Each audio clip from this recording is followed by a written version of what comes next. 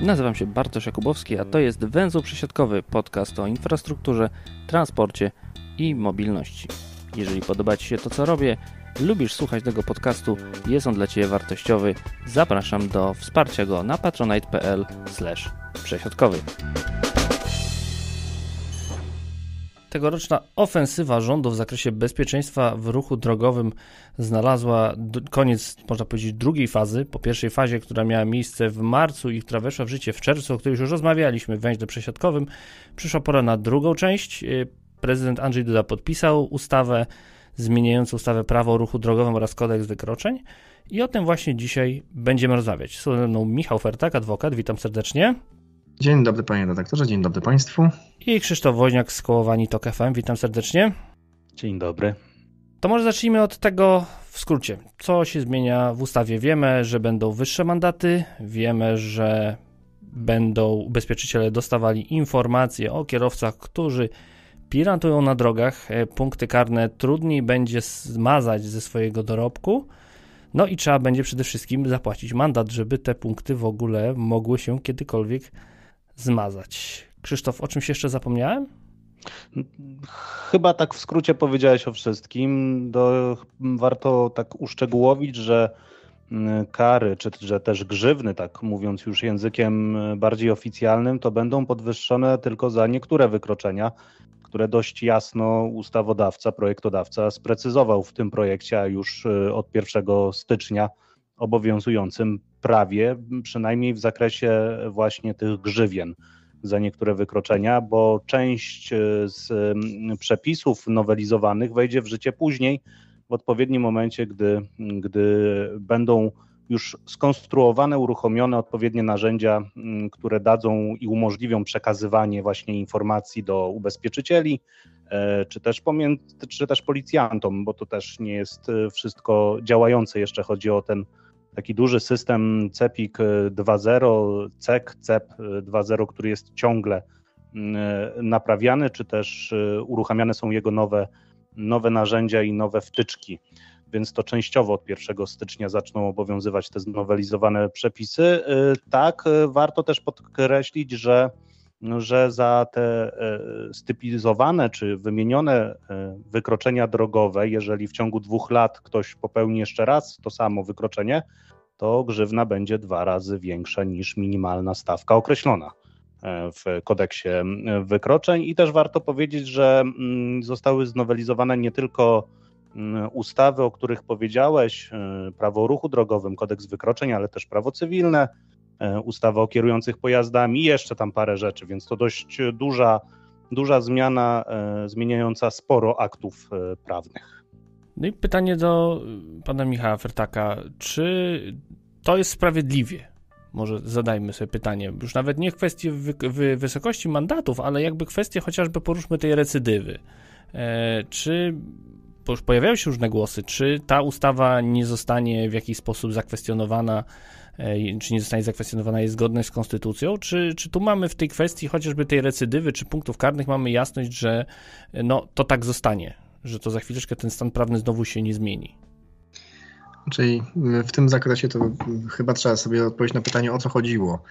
Y, o co w ogóle chodziło y, przy projektowaniu przepisów, przy y, ich, ich późniejszym uchwalaniu. Mam wrażenie, że przy projektowaniu trochę o co innego niż przy uchwalaniu, bo od początku, jak rozumiem, w komunikacji na zewnątrz chodziło o to, żeby zwiększyć bezpieczeństwo na drodze, na drogach publicznych i stąd y, y, zwiększenie kar, grzywien, mandatów i, i zmiana w szczególności, jeżeli chodzi o kodeks wykroczeń w tym zakresie, żeby te kary były bardziej, jak to, jak to mówi projektodawca, dotkliwe. Czy, to, czy te zmiany będą, będą, czy zostaną, czy się utrwalą i czy sądy nie będą ich kwestionować w zakresie ich konstytucyjności, czas pokaże. Zapewne wielu moich koleżanek i kolegów Y, będzie to podnosić przed sądami i chyba dochodzimy do sedna, bo y, te zmiany na pewno jedną rzecz y, zmienią, to znaczy zwiększy się ilość spraw wykroczeniowych w sądach. to na pewno, bo tak jak te mandaty dotychczas może były mniej dotkliwe, to tych spraw w sądach oczywiście było wiele mniej. Tak teraz należy się spodziewać że tego, że zdecydowana większość y, spraw mandatowych do tych sądów może trafiać y, z uwagi na obciążenia. Y, no a a propos tego celu, to ja mam głębokie wątpliwości, czy ten, te środki zaproponowane w ustawie realnie zwiększą bezpieczeństwo na drodze bo jak pamiętam, większość konferencji, większość paneli eksperckich odnośnie bezpieczeństwa w ruchu drogowym nigdy nikt, przynajmniej żaden ekspert nie wspominał o tym, że realnie wysokość kar e, związanych z wypadkami komunikacyjnymi co do zasady ma przełożenie na bezpieczeństwo w ruchu drogowym. Pamiętamy chociażby z panem redaktorem, z panami redaktorami w sumie konferencje jakiś czas temu organizowane w tym zakresie, w zakresie bezpieczeństwa pieszych. No, nikt o tym nie mówił. Mówiono o infrastrukturze, a teraz mówimy o kolejnych e, obciążeniach e, e, dla kierowców związanych z ruchem drogowym. No nie tylko dla kierowców, bo tam też ogólnie jest dla kierujących.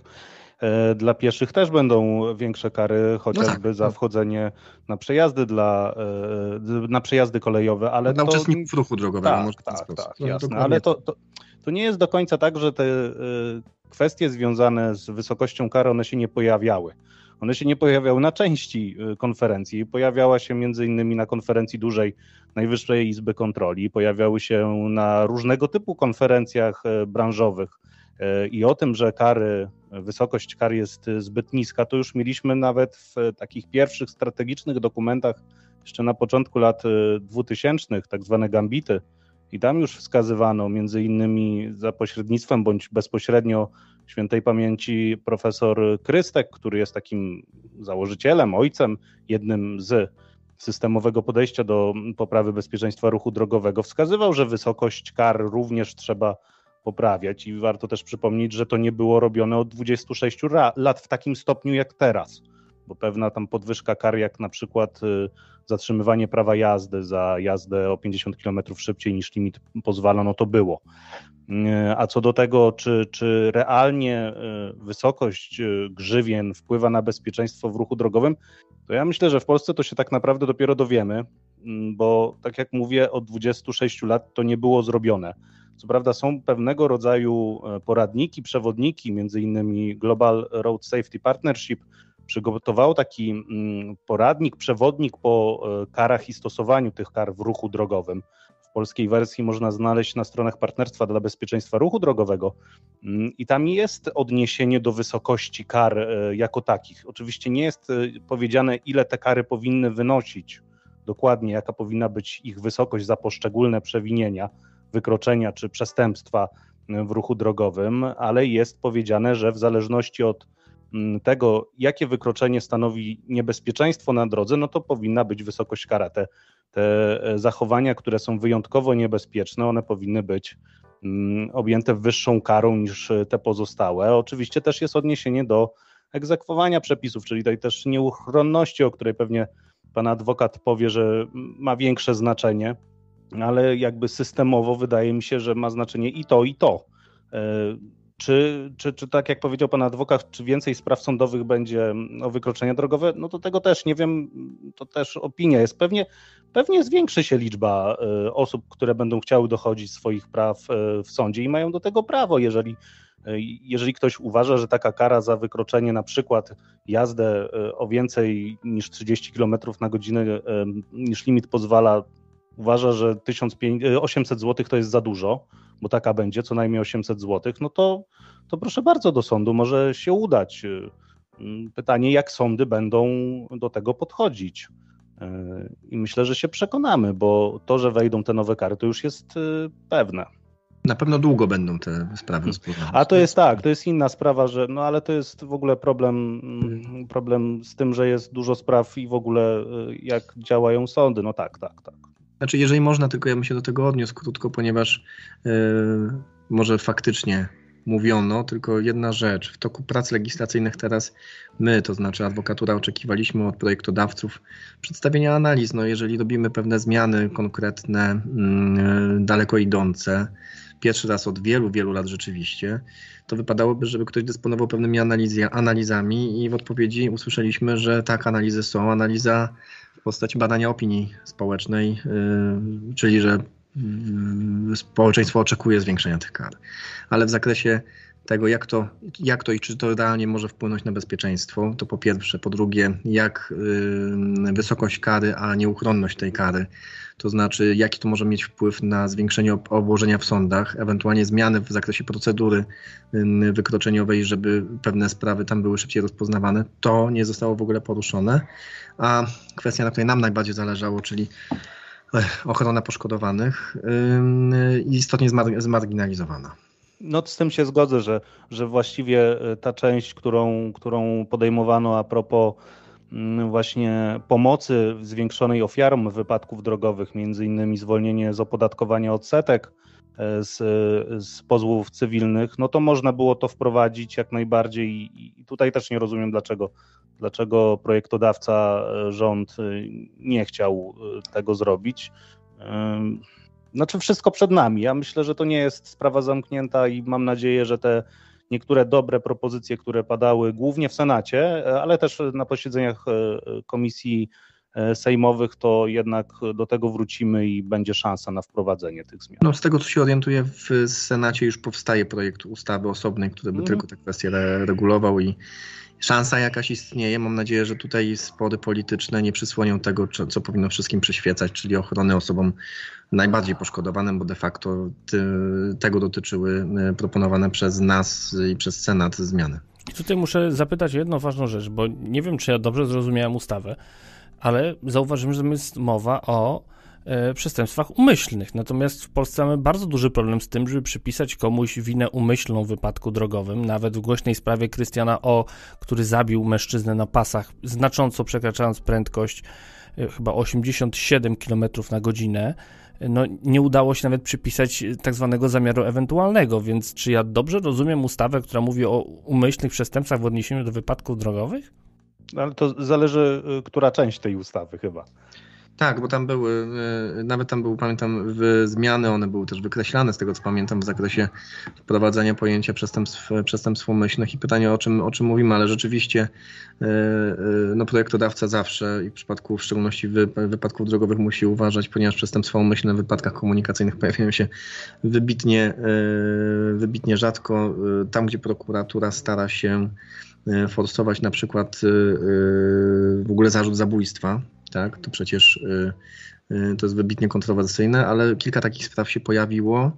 A z tego, co się orientuję w Polsce, chyba z jedno czy dwa skazaniach, ale nie wiem, czy prawomocne się też pojawiło w tym, w tym, w tym zakresie. Tak? To jest mhm. wybitnie rzadka sprawa, dlatego tutaj, jak się pojawiła taka koncepcja ustawodawcy, to y, chyba na etapie Senatu myśmy zareagowali błyskawicznie. E, mam jeszcze jedno pytanie, a mianowicie tam pojawia się taki zapis, mówiący o tym, że w sytuacji, kiedy popełnimy wykroczenie w ruchu drogowym, naruszymy bezpieczeństwo, tam jest oczywiście zakres podany, i w efekcie tego ktoś zostanie ranny, no to mhm. jesteśmy karani grzywną w wysokości co najmniej 1500 zł. No ale to jest podstawowe pytanie, czy to, czy uszkodzenie tak ciała, tak, spowodowanie ran u kogoś, czy to nie jest już y, przestępstwo, które jest kwalifikowane z kodeksu karnego? To jak to będzie wyglądało? Y, czy będą dwie kary, czy będzie jedna kara w takiej sytuacji, gdy nie daj Boże spowodujemy wypadek i ktoś zostanie ranny w tym wypadku? No problem polega na tym, raczej y, tutaj akurat mamy do czynienia z wykroczeniem, czyli z y, naruszeniem czynności narządu ciała poniżej 7 dni. No właśnie nie. No właśnie, właśnie nie do końca, bo ja akurat, przepraszam, że tak się wtrącam, hmm. ale akurat znalazłem ten fragment, który o mhm. tym mówi i, i, dość jasno myślę warto go zacytować. E, co zrobię? Jeżeli następstwem wykroczenia, o którym mowa w paragrafie pierwszym jest spowodowanie naruszenia czynności narządu ciała lub rozstroju zdrowia innej osoby. Koniec. Tam, tu, tak. tu, właśnie zapomniano trochę doprecyzować do tego, że chodzi trwających do siedmiu dni, bo to warto też wytłumaczyć, że, że te, ten rozstrój zdrowia mm, narządu ciała, czynności narządu ciała i lub rozstroju zdrowia do siedmiu dni, no to jest ogólnie tak traktowany jako kolizja, która podlega oczywiście grzywnom, ale z kodeksu wykroczeń. A jeżeli coś, właśnie ten rozstrój zdrowia jest powyżej 7 dni, to wtedy już mamy wypadek drogowy, który ma inne konsekwencje, jest przestępstwem, no i jest, y, y, jak dobrze rozumiem i na moją wiedzę, jest y, kierowany do prokuratury z urzędu, czyli zajmuje się tym już odpowiednie, odpowiednie władze, jest to dość mocniej nacechowane. A tutaj w tym projekcie zapomniano albo, albo zapomniano, albo nie chciano tego zrobić. To też ja do końca nie wiem dlaczego. Nie odniesiono się i nie sprecyzowano, że chodzi mm, o ten rozstrój zdrowia do siedmiu dni. Z tego, co, mm, z tego, co pamiętam, czy ten temat był poruszany, no w niestety dopiero, dopiero w Senacie i głównie w Senacie, no przyjmowano, że skoro to jest w kodeksie wykroczeń, tam jest zdefiniowane, kiedy to jest, kiedy wykroczeniem jest, prawda, y, y, czyn związany z naruszeniem czynności ciała w ruchu komunikacyjnym, przyjmowano, że to, y, że już nie trzeba tego ponownie definiować. Z tego co pamiętam, czyli niejako, że zabieg, zabieg celowy, no bo ostatecznie, ostatecznie ta zmiana, którą myśmy proponowali, żeby to dopisać, nie, Y, nie, zna, nie znalazła odzwierciedlenia w, w przepisach finalnych. Mm, no, mam, zobaczymy, jak to będą sądy interpretować, biorąc pod uwagę też y, y, sprawy o poważniejszym kalibrze, czyli, sprawy, czyli przestępstwa, kiedy y, będziemy zapewne w obronie y, twierdzić, że mając na uwadze nowele przepisów, dane, czy, dany czyn, który jest kwalifikowany jako przestępstwo, można kwalifikować też jako wykroczenie. A no właśnie, to tak zwana podwójna karalność, którą ja mam tutaj dość... Albo wyłączna karalność, bo nie może być tak. oczywiście mhm. podwójnej, więc my, mhm. więc my wtedy będziemy mówili, no hola hola, ustawodawca wskazał, że to jest e, grzywna 1500 zł. No właśnie, no właśnie, więc to, to, szczerze mówiąc, e, jeżeli chodzi o wątpliwości, to ja mam największe co do tego, na tyle ile orientuję się w aspektach e, takich prawniczych, że tu właśnie będą dość poważne argumenty, żeby zakwestionować to jako niezgodne z konstytucją. Czy tak się stanie, to zobaczymy w przyszłym roku. Myślę, że na pewno będą próby tego zrobienia, jestem tego pewien. Wręcz, a czy to okaże się niezgodne z konstytucją, czy też w ogóle z, z mm, dobrą praktyką i w ogóle praktyką stanowienia prawa, no to tak jak mówię, się okaże. To nie jest tak, że ten projekt jest w pełni idealny i nie brakuje różnych rzeczy zresztą tak jak mówiliśmy, ale też nie jest tak, że on jest całkowicie fatalny. No, musimy sobie trochę wprost powiedzieć, że e, obecne grzywny za wykroczenia drogowe, które nie były nowelizowane od e, wielu, wielu lat, od 97 roku, no dla niektórych są śmiesznie, śmieszne wręcz. Ale tu jest znowu I... pytanie, Krzysztof, w którym muszę się mhm. wtrącić w tym momencie. To dlaczego wysokość grzywien za wykroczenia w ruchu drogowym nie została wskazana jako liczba stawek dziennych, które łatwo jest zwaloryzować i wie, wtedy wiemy, że te kary będą sobie spokojnie rosły i nie będziemy musieli już zmieniać kwotowo tych wartości, tylko będziemy mieli po prostu, tak jak w przypadku wielu innych wykroczeń, podaną liczbę stawek dziennych, które są waloryzowane. No ja jestem, jestem za tym, żeby, żeby to powinno tak być. Mogę tak powiedzieć, że faktycznie można było podejść do tego mm, w trochę inny sposób, trochę mniejsze te kwoty dać na początek, e, czyli te kwoty minimalne za wykroczenia drogowe, które są wskazane w tym, w tym projekcie, a, czy już w obowiązującym zaraz za chwilę E, prawie z adnotacją, że tak, faktycznie co roku one będą waloryzowane na podstawie przepisów e, chociażby o wysokości e, minimalnej płacy, albo właśnie na podstawie stawek dziennych, jak to jest w, z tego co wiem, w kodeksie karnym, tak, panie adwokacie? Mm, tak, dokładnie. Tak, no, tak, no właśnie, więc, więc można to było tak zrobić. Dlaczego się rząd nie zdecydował na to? Ja myślę, że że tu były kwestie związane też z pewnego rodzaju y, mm, potrzebą zmian w zakresie, a przynajmniej tak rząd myślał, potrzebą zmian w zakresie wysokości y, kwot i jasno powiedzianych, y, że za te wykroczenia, które sprecyzowano, ja przypomnę, i to, to jest dość ważne, że w większości te stawki to są minima, czyli mi, przynajmniej nie mniej niż określona kwota. Więc to nie oznacza, że, że na przykład w późniejszym czasie nie będzie można, czy też w ogóle po 1 stycznia nie będzie można e, tych grzywien za wykroczenia dawać wyższych. No tak, ale one nie będą na pewno niższe niż 1500 zł za wymuszenie pierwszeństwa na pasach czy na zajazdę po chodniku. No, od razu na dzień dobry trzeba wziąć 1500 zł albo idziemy do sądu i próbujemy udowodnić, że tak nie, nie jechaliśmy po tym chodniku, albo nie wymusiliśmy pierwszeństwa na pasach, co dzisiaj przy dużej liczbie kamerek w samochodach, przy wszechobecnych telefonach komórkowych, no może być często trudno obronić taki wniosek.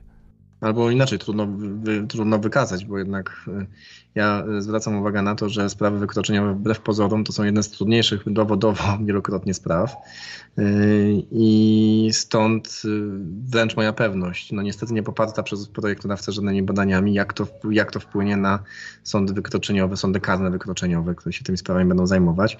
Jak ktoś ma dzisiaj wyjąć od razu, bo zasadniczo podpisując, podpisując mandat karny to e, stanowiono od razu tytuł do egzekucji. E, więc jeżeli nie chcemy dzisiaj, albo nie mamy takiej możliwości, żeby dzisiaj to zapłacić, to od razu automatycznie będziemy pisać, będziemy, będziemy składać, e, będziemy, nie, nie będziemy przyjmować, będzie policja składać wniosek do sądu o ukaranie i będzie się zaczynać wielo, wieloletnia, wieloletni bój. Ja mam odpowiedź, dlaczego to zostało zrobione w taki sposób, że podano kwoty. No, ten projekt, jak większość projektów, które y, dotyczą karania, ma charakter głównie, mm, y, głównie moim zdaniem niestety, mimo tego co pan redaktor powiedział wcześniej, populistyczny. O tyle no, chodzi o to, żeby pokazać, będziemy karać, będziemy bardziej dotkliwie karać, odpowiadamy na potrzebę społeczną. Ale y, czy do końca to jest przemyślane, ja mam głębokie, ja mam głębokie wątpliwości. Jeżeli byśmy rzeczywiście chcieli zacząć y, zmieniać filozofię y, w zakresie bezpieczeństwa w ruchu drogowym, to trzeba było poprawić w pierwszej kolejności infrastrukturę, w drugiej, stronie, w drugiej kolejności chronić bardziej ofiary wypadków komunikacyjnych, a w trzeciej kolejności zastanowić się nad filozofią karania, a w szczególności tym, żeby to było nieuchronne, szybkie i sprawne państwo, a nie państwo, y, kiedy y, wydawałoby się prostej sprawy wykroczeniowej będziemy my, obrońcy, podnosić problem konstytucyjności, bo oczywiście nie należy liczyć na to, że Trybunał Konstytucyjny się tym zajmie zbyt szybko, a zatem trafi to do sądów powszechnych i te sądy, jeden stwierdzi, że ten problem istnieje, drugi, że ten problem nie istnieje. Będzie tak jak przez ostatnie kilka lat ostatnich w zakresie stosowania, stosowania prawa, które może gdzieś w założeniu miało sens, ale się ten sens w, przy uchwalaniu yy, rozjechał, niestety. No tak, ale tutaj już chyba zaczynamy wchodzić y, w dyskusję, czy, czy te wykroczenia, za które podwyższono grzywny, y, to one są faktycznie niebezpieczne dla, dla ludzi i czy E, kierujący, czy też osoby, które popełniają te wykroczenia, to, to faktycznie robią to przypadkiem, bo ja mam dość duże wątpliwości, że ktoś, kto jedzie o 30 km szybciej niż limit pozwala, to robi to przypadkiem. Więc jeżeli e, przy pewnej wiedzy, jaka kara jest e, za to wykroczenie, i pomimo tego i wiedzy pewnej, jakie zagrożenie to za sobą niesie, ktoś tak jeździ, no to myślę, że jest świadomy tego, że będzie musiał zapłacić taki mandat. A przynajmniej mhm. powinien być. E, no. Bo. No i wie, że nie przyjmie mandatu. No tak, no, znaczy, no tak jak mówię, no, no, ale to jeżeli chodzi o wszystkie kary, czy też wszystkie grzywny, e, to obywatele mogą nie przyjmować e, mandatu no, i powiedzieć, że o, ich zdaniem e, oni nie popełnili takiego czynu, nie wpływa to w takim stopniu i chcą swoich praw dochodzić w sądach. Myślę, że odpowiedzi y, idealnej na to nie, na nastawione pytania nie będziemy mieli. No, y, y, szkoda, że wiedza specjalistyczna dotycząca tego, jak to może wyglądać albo powinna, taką wiedzą dysponuje na przykład pan redaktor Woźniak, który dzisiaj się z nami spotkał. Może ja, może przedstawiciel Naczelnej Rady Adwokackiej ale w, u projektodawców, mimo że i środki, i czas na to były, no, nawet się nie pojawiła potrzeba albo możliwość wykonania specjalistycznych badań, a to byłoby możliwe w zakresie i bezpieczeństwa w ruchu drogowym. Mamy y, wybitnych specjalistów, mamy y, takie możliwości. Przecież to, żeby przecież to zrobić, zastanowić się nad tym, czy rzeczywiście ten system jest właściwie skonstruowany, czy rzeczywiście trzeba się spieszyć, skoro od dwudziestu kilku lat tego nie robiono. No ale wiadomo, też potrzeba, potrzeba chwili, trzeba było to zrobić no, w tym roku. No tak, ale to też, to też nie do końca jest tak, że ten projekt, który podnosił te grzywny, to on był skonstruowany w tym roku. To nie, to nie, tak sam, nie projekt, jest, no. sam, sam, sam, projekt nie, on musiał być przyjęty w tym roku, to wiemy, tak, ale, tak, ale no to y, pewien też proces, tylko że jeżeli chodzi o tworzenie samego, oczywiście sam, sam, samego projektu, to jest to pewien proces, który trwa, ale no, przynajmniej nam taką odpowiedź, takiej odpowiedzi udzieli, może dziennikarzom innej, no nie, poprzedzony badaniami, a to tego ja nie jestem w stanie zrozumieć dzisiaj, przynajmniej jeżeli do wszystkiego, jeżeli podchodzimy projektowo, należy podejść także w ten sposób, żeby pozyskać pewne badania, żeby zobaczyć, czy, od, czy, czy, czy rzeczywiście odpowiedź na dzisiejsze problemy leży w karach, bo to jest złudne. Ja to całkowicie rozumiem. Natomiast jakby jedna rzecz, która w tym całym projekcie, tu jest pełna zgoda, że można było zrobić dobre badanie i to jest problem wielu ustaw, nie tylko tej ustawy, e, że po prostu państwo, które, rząd, który wchodzi jako inicjator ustawodawczy, tak jako, jako ten, który zgłasza nową ustawę, nie pokazuje badań, tylko jest to robione na zasadzie widzimy się, no to jednak nie sposób nie zgodzić się jednak z często podnoszonymi w, przez stronę społeczną postulatami, że dzisiaj, w momencie, kiedy nawet y, ktoś nagra jakieś wykroczenie drogowe, wyśle to na stop agresji drogowej, no to ten potencjalny sprawca, czyli właściciel pojazdu wezwany na przesłuchanie przez policję, może wyłgać się mandatem 500 zł, mówiąc, że on nie wie, kto prowadził samochód.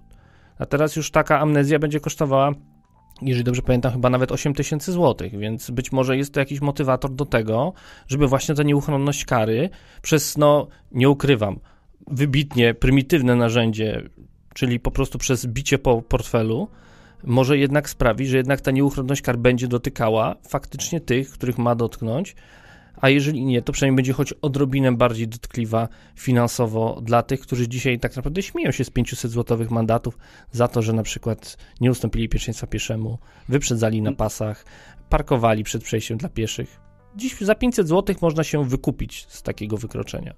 No tak, a, a, poza tym jeszcze jest ta kwestia usuwania punktów karnych, która będzie w pewien sposób uzależniona od opłaty, e, opłaty mandatu, więc e, tutaj też ta nieuchronność już nałożonej kary e, jest, jest jakoś próba przynajmniej zwiększenia tej nieuchronności, chociaż też to jest kwestia, która była na posiedzeniach bodajże komisji w Senacie pokazywana przez przedstawiciela Urzędu Skarbowego, że w wcale z ściągalnością mandatów to tak bardzo źle nie jest. Tam około 80% wystawionych, e, z tego co pamiętam, w 2019 roku e, została, została ściągnięta z mandatów. Ja tylko chciałbym się jeszcze odnieść co do tych badań, o których e, pan, pan adwokat mówił, bo o ile wierzę w to i, i na pewno tak było, że nie przedstawiono żadnych analiz wpływu dotyczących tego, czy będzie więcej spraw sądowych, po wprowadzeniu tego, bo ja też takich analiz nie widziałem, więc, więc pewnie tak było. Mm, o tyle mogę się odnieść co do właśnie tych sprecyzowanych wykroczeń, za które podwyższono mm, kary y, i wprowadzono takie, a nie inne stawki minimalne bo akurat te wykroczenia to są na podstawie y, analiz, które przeprowadza Krajowa Rada Bezpieczeństwa Ruchu Drogowego, y, analiz y, bezpieczeństwa i pokazano, że na przykład ta prędkość nadmierna to jest duży problem na polskich drogach. Zresztą nie tylko na polskich, o prędkości to się mówi przecież na całym świecie. Przypomnę, że ostatnie propozycje Komisji Europejskiej mówią właśnie o częstszym wprowadzaniu stref tempo 30, oczywiście w miejscach silnie zurbanizowanych, tam gdzie jest dużo ludzi, no ale wskazuje się na, na problem prędkości. Mm, organizacja OECD mówiła wielokrotnie, że gdyby trochę obniżać prędkość, a też trzymać się ustalonych limitów prędkości, to o 33% mniej wypadków by było i dużo mniej e, ofiar zabitych, więc ta prędkość ma znaczenie i tutaj się do niej odniesiono.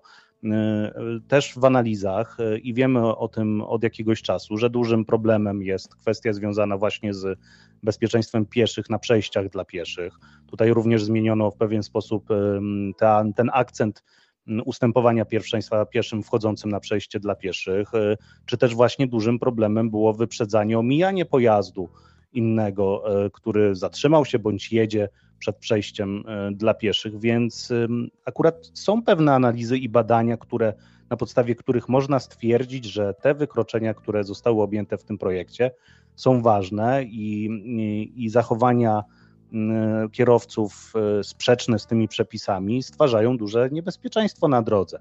Ja się całkowicie tak. zgodzę. Jeżeli mogę tylko, mhm.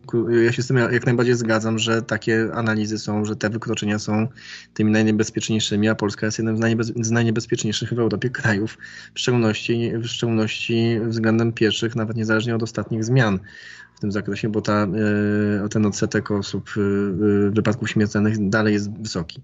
Ale mm, ja dalej nie, ja dalej nie wiem, oczywiście to się okaże w praniu, ale pytanie, czy tak powinien wyglądać proces legislacyjny, czy e, wpływ na to, na zwiększenie tej, tego bezpieczeństwa, a zatem na stosowanie na przykład limitów prędkości będą miały będą miały zmiany wysokości grzywien, no bo po prostu taka filozofia, y, przynajmniej nasza w, y, w adwokackiej wrażliwości jest tej natury, że nie zawsze albo, nie, albo z reguły to nie wysokość kary wpływa na przestrzeganie poszczególnych przepisów. Może dodam tutaj, że y, problem jest bardziej o tyle złożony, że y, nawet przy stosowaniu prawa, czyli w orzeczeniach sądów, w szczególności sądów cywilnych w zakresie przykład przyczyniania się pieszych chociażby do wypadków komunikacyjnych, to jak się analizuje y, zachowanie kierujących, którzy przykład jechali teoretycznie tą prędkością 60-70, czyli dozwoloną w danym, w danym terenie, to zawsze jest że to stwierdzenie, że kierowca mm, jechał z prędkością dozwoloną, mimo że zapomina się, że to jest prędkość przecież nie tyle dozwolona, ile maksymalna a my jeszcze mówimy o tym pojęciu i chyba jest ważniejszym prędkość bezpieczna.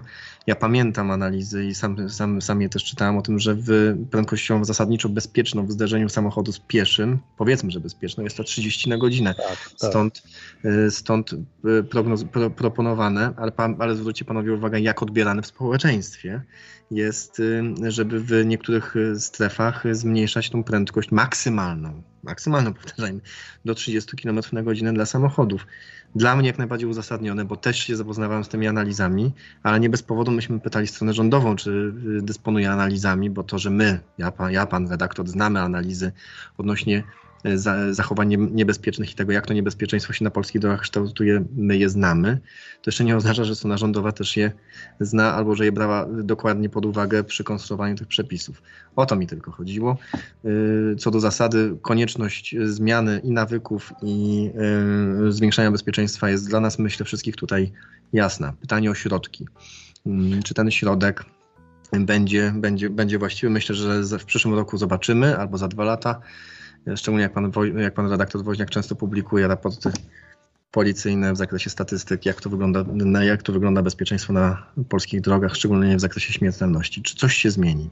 Hmm. No tak, no to, to jest bardzo dobre pytanie i tak jak już powiedziałem, że, że tak naprawdę w Polsce, bo w odniesieniu do innych krajów, e, to pewne analizy są, które pokazują, że jakieś podnoszenie kar e, trochę wpływa na, e, na pewne zachowania, e, czy to kierujących, czy uczestników ruchu drogowego i oczywiście przy zachowaniu jak najbardziej tej nieuchronności, bo, bo od tego nie uciekniemy I, i myślę, że nikt nie chce od tego uciekać e, i myślę, że nikt nie chce mówić, że system nadzoru nad ruchem drogowym w Polsce jest do poprawy w wielu aspektach, chociażby też samego tej jakości, ale też liczby funkcjonariuszy, którzy pilnują, czy też systemu automatycznego nadzoru nad ruchem drogowym. I tutaj jest wiele rzeczy do zrobienia.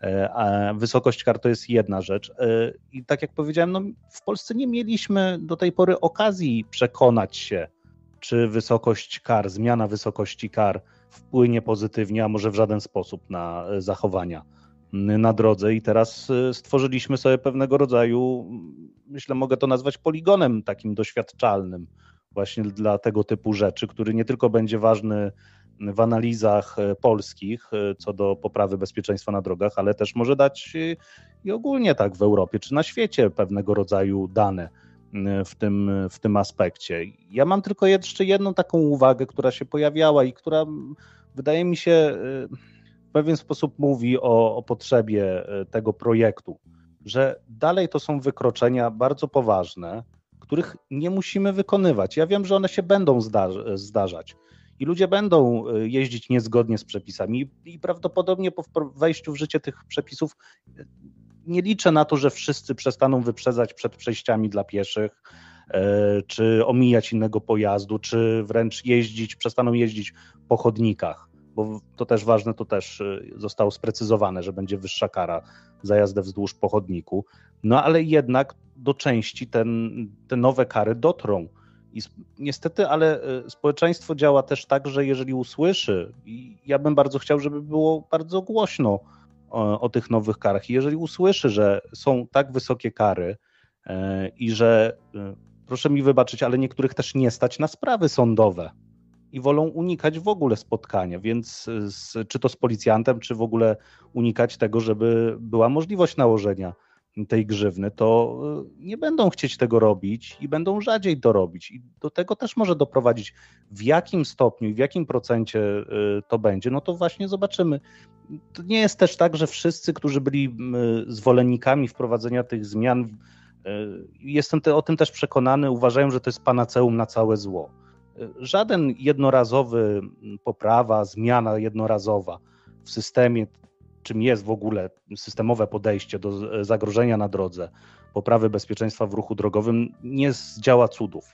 To jest jeden z elementów, który trzeba zmieniać. I przy okazji tej zmiany trzeba zmieniać też wiele innych. To, co pan adwokat powiedział, infrastrukturę.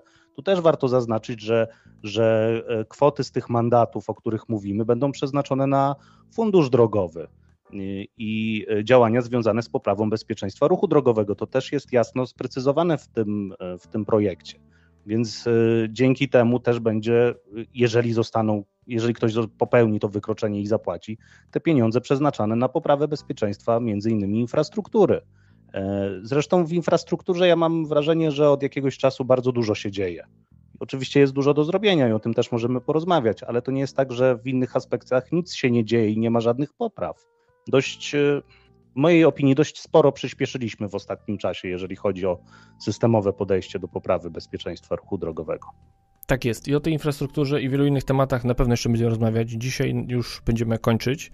Ja tylko dopowiem dla tych, którzy e, myślą, że wywiną się e, wykroczeniem. Policja ma coraz więcej dronów, które pięknie filmują to, jak nielegalnie wyprzedzamy, jak omijamy samochody stojące przed przejściami dla pieszych i pieszych przepuszczające. Dlatego to, że nie widać policjanta, nie oznacza, że naszego wykroczenia nikt nie zarejestrował. Dlatego sugeruję przypomnieć sobie zasady prawa o ruchu drogowym, bo od 1 stycznia ich złamanie będzie dużo, dużo bardziej dotkliwe. Bardzo dziękuję za a ja rozmowę. A ja na zakończenie mogę powiedzieć, że po przyjęciu mandatu rzeczywiście kara będzie nieuchronna. Zgadza się. Adwokat Michał Fertak, bardzo dziękuję. Dziękuję. Krzysztof Woźniak, Skołowani TOK FM. Dziękuję. Dziękuję. Tradycyjnie podcast nie może zakończyć się bez podziękowań dla jego patronów, a w szczególności tych, którzy korzystają z biletów okresowych.